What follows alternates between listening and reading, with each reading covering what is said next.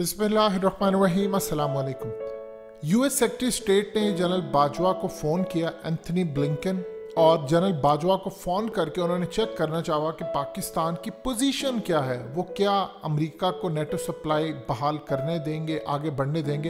ये तमाम चीज़ें जब जानी तो वो अफ़गानिस्तान में पहुँचे अशरफ गनी के पास और उन्हें जाकर बताया, क्योंकि अशरफ गनी बहुत ज़्यादा उनको कंसर्न है कि मेरी हुकूमत चली जाएगी।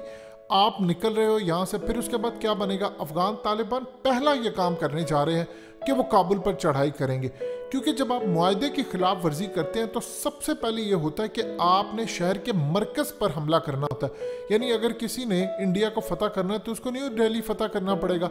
आपने मरकज़ पर हुकूमत कायम कर ली, पार्लियामेंट पर कब्जा कर लिया तो आपने हुकूमत बना ली।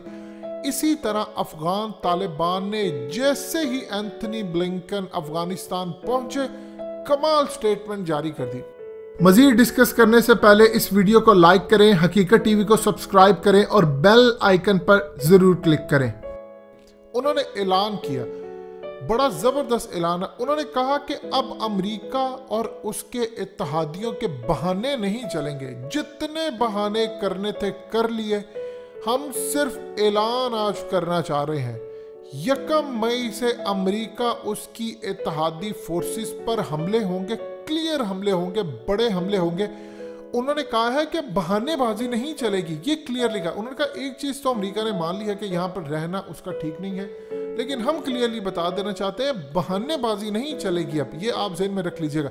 देखिए, अफगान तालिबान का इस दफ़ा मोटिव क्लियर होगा। वो अमेरिका को जाने नहीं देंगे, इनको मारेंगे, इन पर कब्जा करेंगे और कोशिश पूरी करेंगे कि करीबन 40 से 50 अरब डॉलर्स के करीब वो अमेरिका से हरजाना भी वसूल करे, तब उनको वो यहाँ से जाने दे और ये मुस्तकबिल की बात होगी। और पूरी दुनिया के अंदर हम बता दें, हमारा मुल्क छोड़कर अमेरिका नहीं गया, लिहाजा इस पूरी सूरत हाल के बाद हमारे पास ऑप्शन क्लियरली बचती है कि हम अमरीका को और इनके इतिहादियों को अब मारें, और जितनी भी अब नुकसान हो, ज़िम्मेदारी हो वो अमरीका पर होगी। अब हमने जितना करना था, कर लिया। हम क्लियरली बता देना चाहते हैं कि हम अफ़गानिस्तान में अब अपनी हकूमत कायम करके दिखाएँगे, जो कि इस्लाम के असूलों के मुताबिक होगी और इसके साथ ही उन्होंने पूरे अफ़गानिस्तान समेत दुनिया भर से इस्लाम के लिए लड़ने वालों को बुला लिया है कि पहुँचे और अल्लाह की राह में लड़ने का वक्त आ गया। अल्लाह ने आपके लिए जो वक्त चूज़ किया है, वो रमज़ान है। और रमज़ान के महीने में अल्लाह की राह में लड़े और उसके बाद अजीम मरतबे के लिए अब अमेरिका के ख़िलाफ़ तैयार हो जाए। असल में अफगान तालिबान के बयान के बाद स्टेटमेंट के बाद अमेरिका को लगा है झटका। वो जनरल बाजवा को कह रहे थे कि आप मनाए जाकर। क्लियर स्टेटमेंट है कि अफगान तालिबान पाकिस्तान के बात नहीं सुनेंगे। देखिए होना ही था। पाकिस्तान एक हद तक उनको मना सकता है। अफगान तालिबान पाकिस्तान की बात सुनते इसका ये मतलब नहीं कि उनकी हर पॉलिसी को वो मानेंगे। आप एक सपोर्ट कर सकते हैं। जिस तरह चाइना की वो बात सुनते हैं रशिया की बात सुनते हैं, कतर की उन्होंने बात सुन ली। उसके अलावा ईरान की भी बात सुन ली, जब उन्होंने कहा कि माइकल डी एंड्रिया यानी जनरल कासिम का बदला लेना है। अब एक चीज़ इसमें बड़ी क्लियर है। पिछली वीडियो में हकीकत टीवी ने आपको बताया था कि बिपिन रावत, उसने ऐलान किया है कि अफ़गानिस्तान के अंदर अमरीकी फौजें निकली तो इंडिया का कबाड़ा हो जाएगा। यानी क्लियरली उसको गजवा हिंद का खतरा है, लेकिन यहाँ पर एक सूरत हाल बड़ी डिफरेंट है।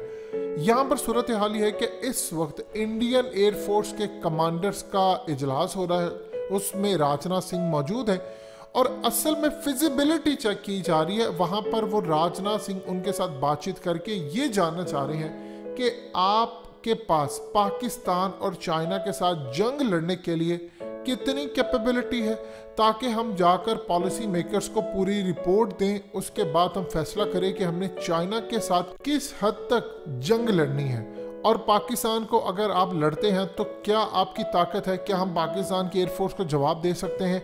ये जहन में रखते हुए कि पाकिस्तान के पास ई e टेक्नोलॉजी है, पाकिस्तान के पास टावर मुनकता करने वाली टेक्नोलॉजी है कम्युनिकेशन मुनकता करने वाली टेक्नोलॉजी है चाइना के पास ब्लैकआउट वाली है तो आप हमें पूरी रिपोर्ट दें। इसीलिए वो कमांडर्स के साथ खुद बैठे हैं, जिसके अंदर वो फैसला ये करेंगे कि हमारी फिजिबिलिटी क्या है। जब ये एयरफोर्स के कमांडर्स का इजलास ख़त्म होगा रिपोर्ट होगी। उसके बाद इसी मंथ के एंड के ऊपर अमरीकी फौजों के निकलने से, यानी जो उन्होंने पहले मुहिदा किया था, दोहा एग्रीमेंट का यकम मई को, उससे तीन दिन पहले तक ये पूरी उनकी आर्मी की कॉन्फ्रेंस भी ख़त्म हो जाएगी और वो भी रिपोर्ट जारी की जाएगी। उसके बाद ये फैसला होगा कि इंडिया के किस तरह पाकिस्तान के खिलाफ आखिरी हद तक जा सकता है? चाइना के खिलाफ लड़ने के लिए उनको क्या चाहिए? पैसा चाहिए? टेक्नोलॉजी कितने दिन तक वो जंग कर सकते हैं? ये तमाम सूरत हाल।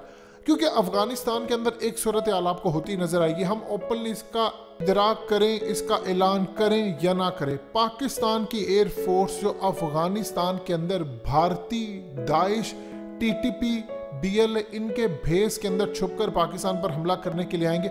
हम अफ़गानिस्तान में ही उनको मार कर आएँगे, लेकिन हम इसका ऐलान नहीं करेंगे। क्योंकि पाकिस्तान अब अफोर्ड नहीं कर सकता कि किसी तरह की सूरत हाल यहाँ पर हो और जंग यहाँ पर मुंतकिल की जाए। अब इस पूरी सूरत हाल के अंदर एंथनी ब्लिंकन वहाँ पर जाकर अशरफ गनी को समझा रहे हैं। वो भी बिफरा हुआ है कि तुम लोग तो यहाँ से जा रहे हो। इवन के अमेरिका ने यहाँ से निकलना नहीं है। उसने यहाँ से ब्लैक वाटर के ज़रिए जंग मुंतकिल करनी है पाकिस्तान। वो निकले या ना निकले अफगान तालिबान का जो अगला टारगेट है, वो अमेरिका के साथ अशरफ गनी होगा। देखिए, अगर उन्होंने अशरफ गनी को टांग दिया या उन्होंने सदारती महल पर कब्जा कर लिया तो बताइए अमेरिका ने हुकूमत कहाँ से चलानी है? फिर तो आप फारिग हो जाएँगे। फिर तो उनकी जो फोर्स होगी, उनकी फौज होगी, एयर फोर्स होगी, वो तमाम के तमाम जो ना होने के बराबर है, वो पूरी तरह सरेंडर कर देगी अफगान तालिबान के हाथे।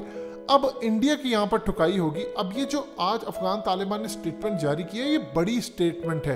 इंडिया को भी उन्होंने पैगाम दे दिया है कि आप ये जो ड्रामे करे हैं कि मेरी तीन अरब डॉलर की इन्वेस्टमेंट है, ये तुम्हारे मुँह पर लाकर मार दी जाएगी।